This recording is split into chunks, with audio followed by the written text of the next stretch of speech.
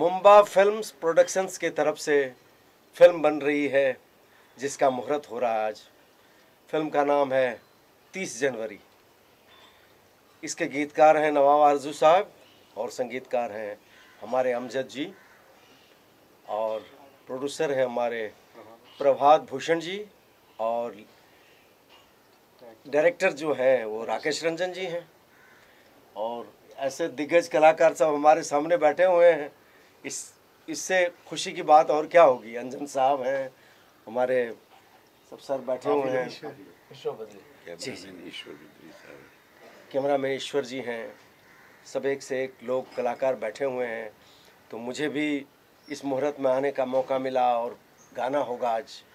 तो मैं बहुत खुश हूँ और मैं ईश्वर से प्रार्थना करता हूँ ऊपर वाले से अल्लाह से कि ये फ़िल्म तीस जनवरी सुपरहिट हो और गांधी जयंती नहीं गांधी जी का इस दिन देहांत हुआ था मतलब डेथ हुआ था डेथ एनिवर्सरी पुण्यतिथि।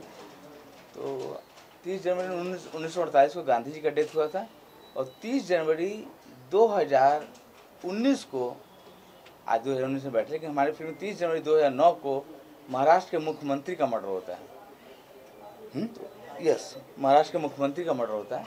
और ये फ़िल्म, यूथ सस्पेंस और थ्रिल से भरपूर फ़िल्म है। यूथ मतलब युवाओं की फ़िल्म, कॉलेज से रिलेटेड फ़िल्म है। सस्पेंस मतलब मर्डर, मिस्ट्री से रिलेटेड फ़िल्म है। और थ्रिल मतलब हमेशा लोग, वो गानों में थ्रिल है, डायलॉग्स में थ्रिल है, एक्शंस में थ्रिल है, स्टोरी में थ्रिल है।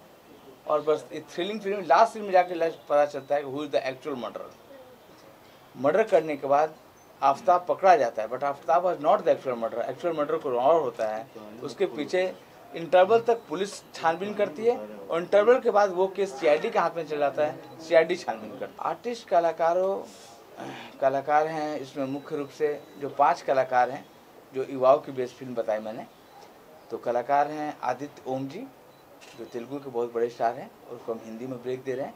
प्रभात भूषण जी, जिस फ़िल्म के निर्माता भी हैं और कलाकार भी हैं। ये पहले भी कई फ़िल्म एक फ़िल्म में काम कर चुके हैं कई सीरियलों में कई एड में काम कर चुके हैं। और अब हमारे फ़िल्म के एज ए प्रोड्यूसर और एज एन एक्टर भी हैं।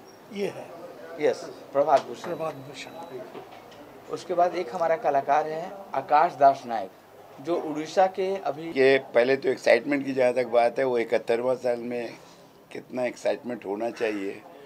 और तीस पैंतीस साल इंडस्ट्री में रहने के बाद किस तरह का एक्साइटमेंट होना चाहिए? फ़िल्म मेकिंग देखा है 200 फ़िल्में देखी है कैसे बनती हैं। आई होप जिस तरह का प्रपोजल इन्होंने दिया है इज़ वेरी करंट टॉपिक होगा। अभी बहुत अंदर नहीं गए हम। राकेश रंजन जी से मुलाकात हुई उनके प्रोड्यूसर साहब से मुलाकात हुई। और जो कुछ मेरा एक्सपीरियंस था वो रीड करके हमने कहा कि they are serious about film making और जिस तरह की चीज़ वो करना चाहते हैं I think he will be successful जिस तरह का सेटअप उन्होंने सोचा है, उसको देख करके लगता है कि आज के ये ये जो, क्या बोलते हैं इसको in orbit P N R ये सबको, इस तरह का जो मल्टीप्लेक्सेस सिनेमा हॉल के लिए that will be very interesting ऐसा लग रहा है मुझे। अब काम करेंगे, मेरा काम बाकी है अभी।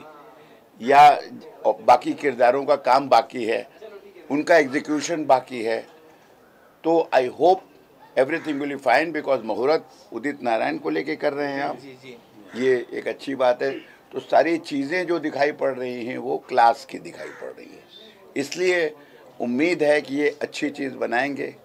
I expect all the best to him all the best करने के लिए आते हैं हम लोग इस वक्त। लेकिन इसमें थोड़ा सा घुसने की ज़रूरत है हमें। ये depends on Rakesh Ranjan how he will help me to enter into the character okay कितना इम्पैक्ट छोड़ता है वो इम्पोर्टेंट है पूरे सब्जेक्ट पर। इट ऑल डिपेंड्स ऑन और सबसे बड़ी बात है ईश्वर बिदरी जी उस 82 में मुलाकात हुई थी बहुत बड़ी फ़िल्म थी गुलामी जिसमें बहुत कुछ नाटक देखा उन्होंने जे पी दत्ता साहब का।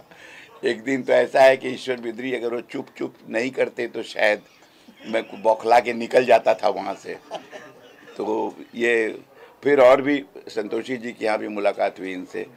दो फ़िल्म, बड़ी फ़िल्में करने का मौका मिला। तो इतने बड़े कैमरामैन को लिया है अगर तो कुछ तो बड़ी बात बनाने वाले हैं। इसमें ज़्यादा नुकताचीनी करने की ज़रूरत नहीं है। रिज़ल्ट दिखाओ। इतने बड़े एक्टर वर्षाल एक्टर मिस्टर रंजन श्रीवास्तव हों कैमरामैन ईश्वर बिदरी साहब हों, और राकेश रंजन जी ऑलरेडी बहुत एक्सपीरियंस आदमी हैं उन्होंने बहुत डायरेक्शन में काम किया, अब इंडिपेंडेंट डायरेक्टर भी हैं, और भी कर चुके हैं पहले ये।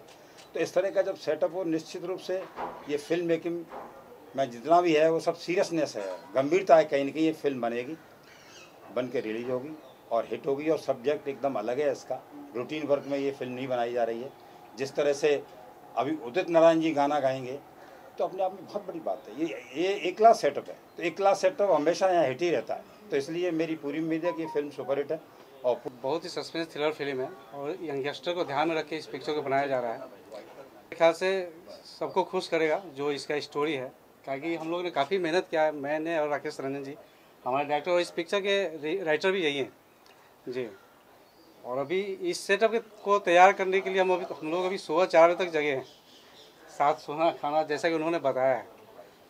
और चूँकि बॉम्बे में बहुत पहले से रहे दो हज़ार पाँच से मैं बॉम्बे आ रहा हूँ। और चूँकि मेरा बिज़नेस भी है तो मैं यहाँ भी करता हूँ और वहाँ भी देखता हूँ। तो ये सारा एक्सपीरियंस को बटोर कर इस पिक्चर को करने का हमने सोचा है। और आज मुख्य किरदार नहीं कह सकते क्योंकि ये पाँच दोस्तों की कहानी है। तो वो पाँच दोस्त में एक मैं मेरा भी कैरेक्टर है।